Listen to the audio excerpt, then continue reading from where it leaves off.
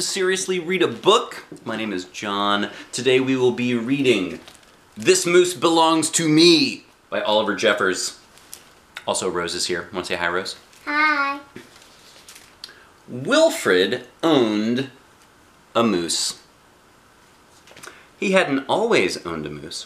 The moose came to him a while ago and he knew, just knew, that it was meant to be his. He's putting a little tag on the moose's antlers there. He thought he would call him Marcel. And the little tag says, Marcel. It's his name tag. It's his name tag. He's putting a name tag on the moose's antlers, so everyone knows this is Marcel. He began following Marcel, explaining the rules of how to be a good pet. Oh, look at this. Rule number three. What do you think rule number three is? Uh, give the owner food. oh! That, that is that is what it looks like. Because normally you, the owners have to give them food. Oh, that's true. But in this case, he thinks that Marcel should be bringing him. It looks like a, a frosty beverage, maybe orange juice. Hmm. Much of the time, it seemed as though the moose wasn't listening. But Wilfred knew he was, mostly because he followed Rule 4 very well, not making too much noise while Wilfred plays his record collection. Ah, he's enjoying his records. The moose's back end is not making very much noise. Sometimes the moose wasn't a very good pet. He generally ignored Rule 7, going whichever way Wilfred wants to go. He's trying to eat an apple there on the floor. The moose had a very good sense of direction, and Wilfred did not. And because the moose was particularly poor on rule number 7, subsection B, maintaining a certain proximity to home, Wilfred quickly learned to bring some string along on their outings so he could find his way back again. There goes the string. He's following Marcel. He seems pretty happy about that. Sometimes the moose was an excellent pet. He had no trouble with Rule 11 providing shelter from the rain. Hmm. It's only raining. That's a happy Wilfred. Or Rule 16, knocking down things that are out of Wilfred's reach. Bunk, bunk, bunk. Good work, says Wilfred, eating an apple. look, look how happy Wilfred is. One day, as Wilfred discussed their plans for the coming year on a particularly long walk, he made a terrible discovery. Someone else thought she owned the moose. Rodrigo, you're back! Wilfred was dumbstruck. This moose was Marcel, not Rodrigo. The old lady was mistaken, and Wilfred thought it only proper that he correct her. This moose belongs to me, he explained. And to prove it, he called Marcel. Heel.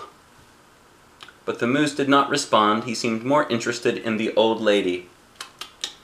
Good Rodrigo.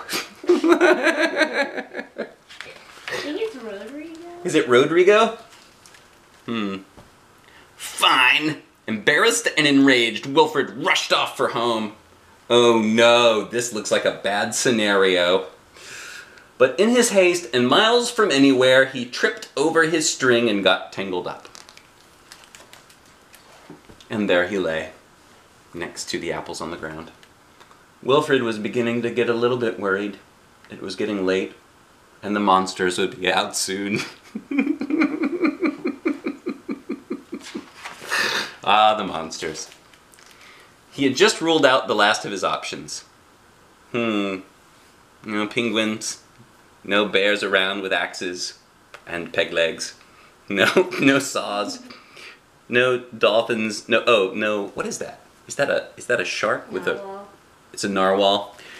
Yeah, I think you're right. Um, hammer. No, no thunderstorm lightning to free him. When along came the moose. Still has his name tag on. Apparently. And performed Rule 73 brilliantly, rescuing your owner from perilous situations. If he really wanted to rescue him, or if he was only hungry. All was forgiven, and perhaps Wilfred admitted he'd never really owned the moose anyway. Oh, look at that. Look at what's down there. With that in mind, he and the moose reached a compromise. The moose would agree to all of Wilfred's rules, including bringing the frosty beverage, whenever it suited him. And off goes the moose. And how does Wilfred look? Mm. Not super happy about it. Dominic, you're back! And you brought me an apple! I think this moose has no owners. What do you think? Probably not. I think not. I think mooses aren't good at having owners or being pets.